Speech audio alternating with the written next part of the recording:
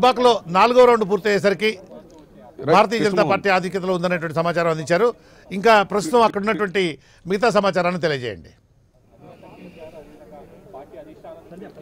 Right Krishnamohan నాలుగో round కూడా చూసుకున్నట్లయితే ఇటు దుబ్బాకలో నాలుగో రౌండ్లో కూడా బీజేపీ అయితే ఆధిక్యంలో ఉందని చెప్పొచ్చు. దాదాపు పద్నాలుగు వందల ఇరవై ఐదు ఓట్లతోటి బీజేపీ ఆధిక్యంలో ఉందని చెప్పొచ్చు. ఓవరాల్గా చూసుకున్నట్లయితే నాలుగు రౌండ్లు మొత్తం ఓవరాల్గా కంప్లీట్ చేసుకున్నట్లయితే ఇప్పటికీ బీజేపీ ఆధిక్యం రెండు వేల ఆరు వందల ఎనభై నాలుగు ఓట్లతోటి బీజేపీ అయితే ఆధిక్యం ప్రదర్శిస్తుంది. ఫస్ట్ రౌండ్ నుంచి నాలుగో రౌండ్ వరకు ఇప్పటిదాకా అయితే బీజేపీ అయితే ఆధిక్యంలో ఉంది.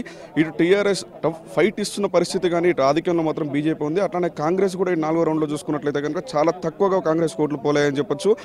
ఏమున్నా పోరా పోరు మొదటి రౌండ్ నుంచి నాలుగో రౌండ్ వరకు ఇప్పటి వరకు అయితే టీఆర్ఎస్ వర్సెస్ బీజేపీ అన్నట్లుంది. కాకపోతే ప్రతి రౌండ్లో ఇటు బీజేపీ అయితే ఆధిక్యం ప్రదర్శిస్తున్న పరిస్థితి. ఇటు బీజేపీ అయితే ఇప్పుడు నెక్స్ట్ వచ్చే మండలాల్లో కూడా ఇటు బీజేపీ ఆధిక్యం ఇంకెక్కువ ఉండే అవకాశం ఉంది. ప్రధానంగా మనం చూసుకున్నట్లయితే ఇటు మూడో రౌండ్లో మూడో రౌండ్లో చూసుకున్నట్లయితే ఇటు మెదక్ ఎంపీ కొత్త ప్రభాకర్ రెడ్డి సొంత గ్రామంలో కూడా ఇటు బీజేపీకి ఆ గ్రామంలో నూట ఇరవై ఓట్ల లీడ్ వచ్చిందని చెప్పుకోవచ్చు.